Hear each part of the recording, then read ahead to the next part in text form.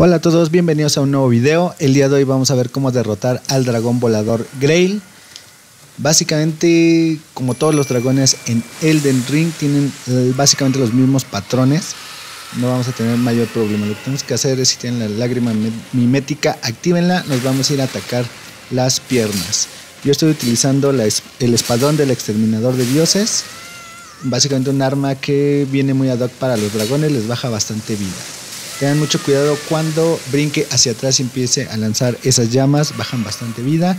De ahí en fuera nos vamos a tratar de mantener en la posición de sus piernas, evitando cuando nos ataque con los pisotones, cuando haga mordidas o cuando gire para darnos con la cola. De ahí en fuera es darle con todo en las piernas, tratarlo de aturdir y si podemos llegar, darle el golpe crítico. La verdad es que aquí en esta zona está un poco complicado ya que es un puente y es los espacios son muy reducidos. Tienen la lágrima hermética y actívenla para que tengan mayor posibilidad de que el dragón se distraiga y ustedes puedan golpearlo con todo.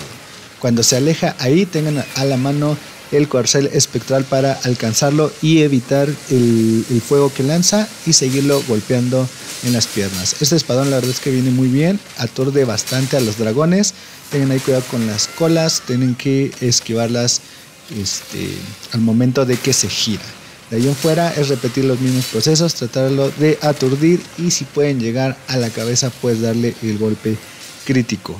Hay dragones eh, complicados ya que bajan más vida, hay dragones más fáciles, pero básicamente los mismos tienen los mismos patrones. Simplemente hay algunas zonas donde se nos complica movernos, hay algunos que al dar pisotones bajan más vida, entonces eh, dependiendo del dragón, bueno, es un poquito la dificultad. De ahí en fuera es simplemente darle con todo en las piernas. Y bueno, espero que les haya gustado este video. Ya saben, déjenme sus comentarios, suscríbanse, den like, compartan, activen la campanita para que les lleguen las nuevas notificaciones y nos vemos en el próximo video.